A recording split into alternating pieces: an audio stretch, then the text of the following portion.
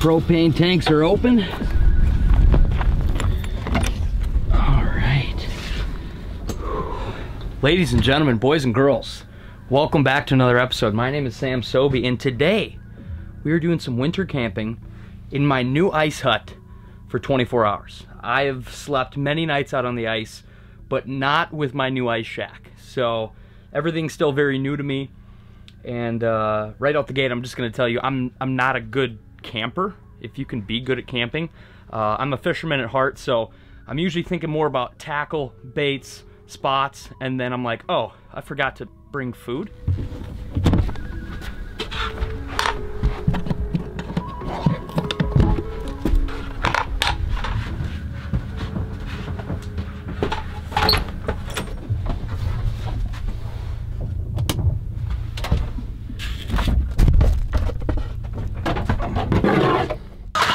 It is time to re-drill the holes. Uh, cool thing, especially if you fish in a permanent shack, a K-drill has chipper blades on it, so if you fish the night before and they refroze, the chipper blades, they open holes really easily. So let's open these holes up and then, yeah, continue on.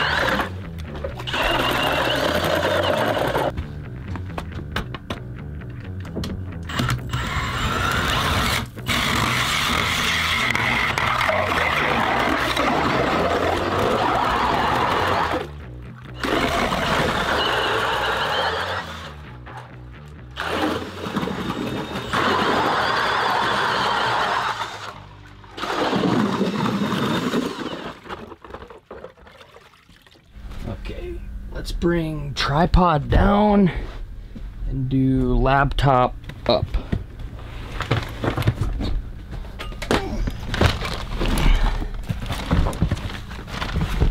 It is actually a gorgeous day. The weather conditions today are like 30 degrees, mild wind. Today would be an incredible day to just kind of be out hole hopping and fishing. And I might hole hop a little bit later, try some different spots. Maybe I'll drive the truck across the lake and just kind of hole hop a couple different break lines or humps. But for now, I'm gonna get things set up. We're taking the blackfish off. Let's get comfy. And yeah, I think I need a water quick.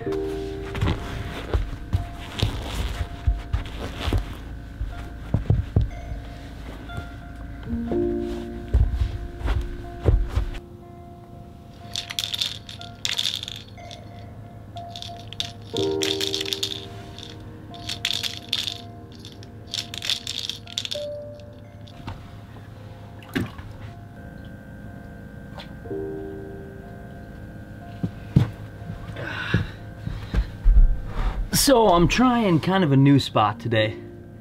Uh, it's not super deep. I've never really tried this spot before. On the rattle reels, I'm gonna put down a shiner and a fathead while I'm kind of just kind of messing around the house. But then when I start to jig here, I'll probably pull one of the one of the rattle reels up and I'll leave the shiner on here just for a walleye. I'm not really expecting to catch a walleye, but if I did, that would be pretty sweet.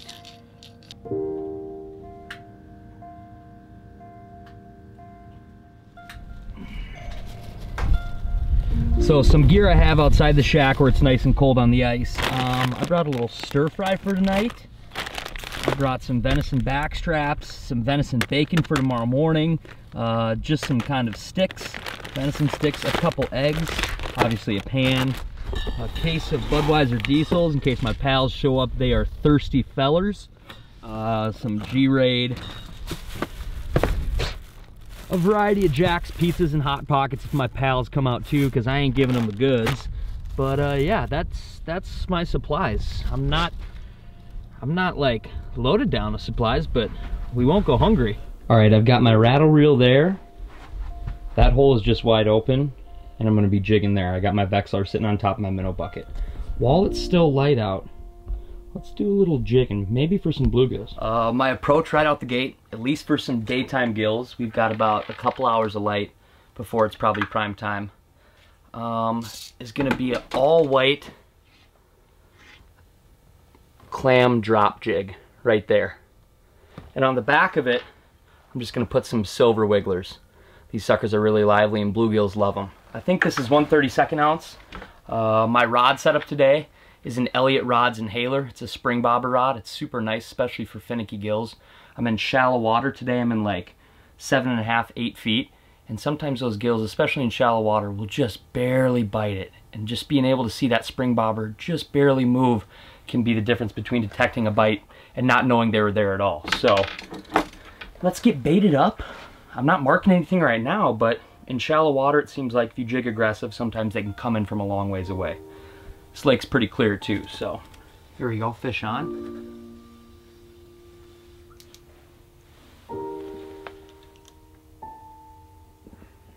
That is not what we're looking for. Exposed, and I will have a lot of free time, although I'll probably see my family on one of the days. So, and also, I don't really do anything on Mondays, so I can take a Monday off. So I could commit to just spending a night in the fish house Friday, Saturday, or Sunday. And all you have to do oh, is Oh, boy! I can decide how bad you really want me to come. But I am gonna. Nice. That's a pretty good one. That's a good one. It's a freaking bomb. It's a freaking bomb. On the set line, a freaking bomb. That is a freaking gino. I am just casually fishing. That was on a set line. Mouth closed. That is close to 14 and a half. But bigger than 14 and a quarter. Oh my gosh.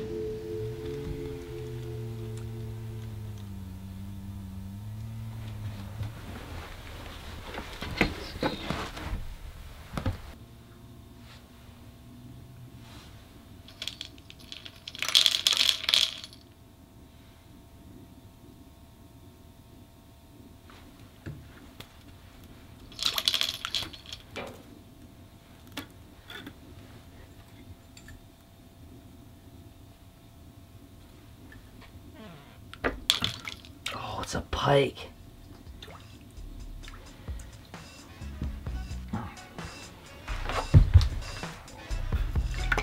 Oh, snot rocket. Not what we're looking for.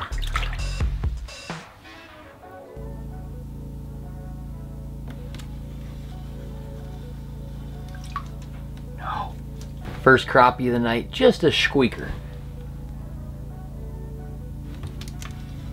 Fish on. Crappie. Okay, they're getting a little better. This would be a good eater. All right, we're getting a little closer to prime time. This would be a good eater, but I'm not eating tonight.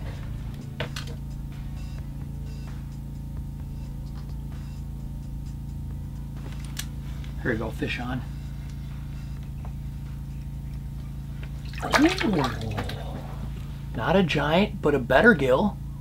Alrighty, we're getting pretty close to prime time. I think Stephanie's gonna come out and fish a little bit, so I'm gonna leave the shack, go pick her up at the access, come out, we'll probably fish a little bit, and then I'll cook dinner after she leaves. She already ate. If fishing is happening, dang Steph the Great sniffs me out. I have to come with too. Good thing I made two hot pockets. I made hers pepperoni and this one is ham and cheese. And of course, you come right at prime time. it works. It works. I, I just got off work. Perfect timing. I had a little earlier day. Might as well come out to the fish house How late are you gonna stay? until they stop biting. I feel like this is a disgrace. What are you wearing? It was so warm. I didn't what even have to. wear What are you wearing? That is not allowed out here. You're right. That is not allowed. Okay, now we're fishing. Now I'm fishing. All right. Prime time happens in like 15 minutes. Hunker down. Get the chicken. Not only is Steph the Great good company, but now we can run more lines. So I'm gonna put a couple more rattle reels down because we can each run two lines. We're both gonna jig, and we're both gonna have a rattle reel.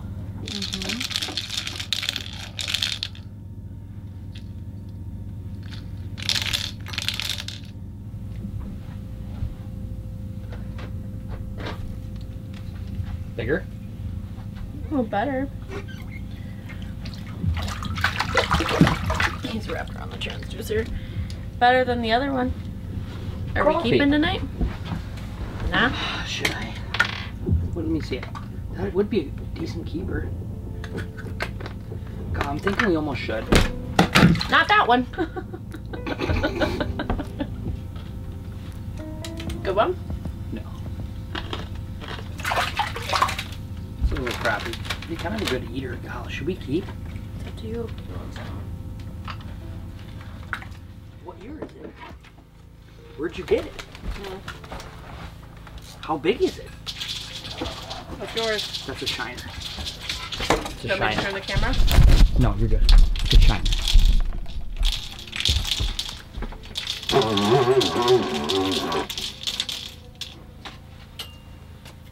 Hooked up? Yeah, I think it could be a better pike. He's kind of up here. Get your head up here. Get your head up here. Oh. Yeah, he's wrapped. Yeah, he's wrapped in it. Well, it's not a walleye, but not a bad little pike either. I'm gonna get him right back. Slimy.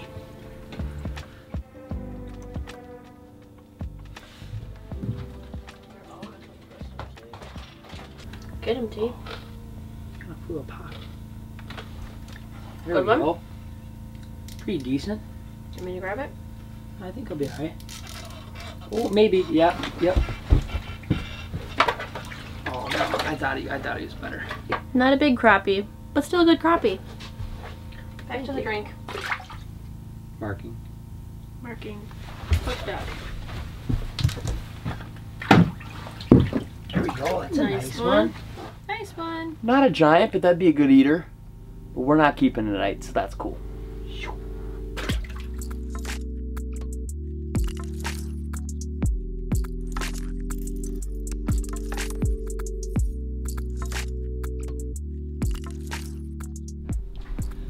All right, fishing has slowed down a decent amount, which means we're about to go head to head in a hundred percent throwdown death match of some cribbage. I don't know. Have you even won a game in the house yet? Yes, I've won a game in the house. Have you actually? Yes, we're one and one. Really? Yeah. We are. We're one and one. Sure. Selective amnesia. You just choose not to remember it. Sure. All right, cribbage results coming at you in three, two, one. Well, well, well, well. I pegged out and ended up winning, but barely by like what, five points? I was focused on fishing and Mhm. not cribbage. So Yep.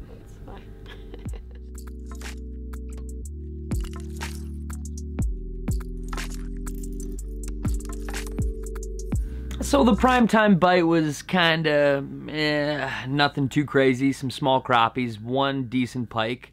Uh, I just dropped Stephanie back off of the access. She's got work early in the morning, so she's headed home. But for now, I think we might start making some dinner. Okay, on the menu tonight for dinner, we have a little stir fry action. Little teriyaki stir fry, some noodles, some carrots, some baby corn, and the best part, we've got some venison steak. So I think I might kind of cook down the stir fry quick, and then I'll just sear the venison steak. We'll mix it all together with some teriyaki sauce, and then yeah, we'll have some stir fry. I'm just gonna let you know too, this is the first time I've used the stovetop, so everything is very experimental.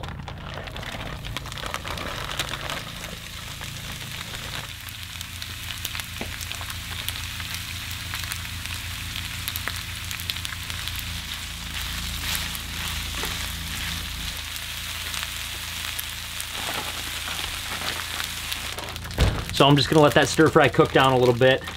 And in the meantime, I kind of just put some salt and pepper on that venison steak. And I put a little bit of that teriyaki sauce in with it just kind of all cut up. And I'm doing just kind of a quick marinade. This is gonna just kind of be very impromptu.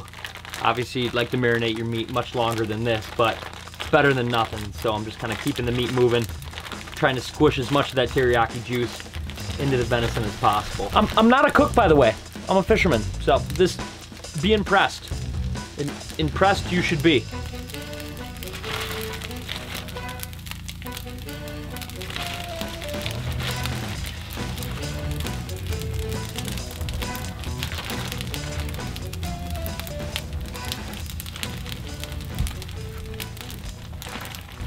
All right, not too shabby. Little venison teriyaki stir fry. That ain't a bad winter camping meal.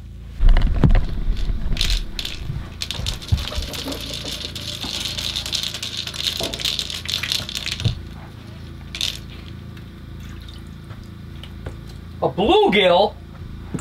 Why would a dang bluegill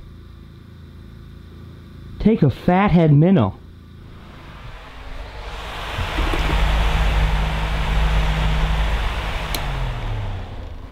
Am breaking the table down now and I'm gonna make it into a bed. It's pretty easy. Just pull the table down, put these cushions like so, and bada bing, bada boom. You got a single bed. If there's more than one person sleeping here, there's a piece of wood here that kind of comes down, goes out to there, goes out to there, then you got a double bed. I'll make my bed and then, yeah, probably hit the hay.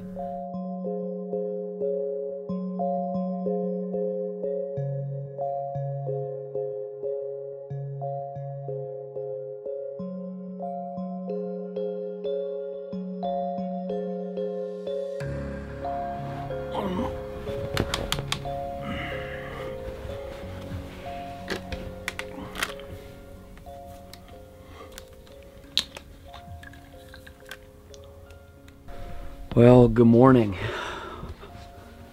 Um, I slept great. I slept like too good. Uh, I'm a little bit bummed because I slept.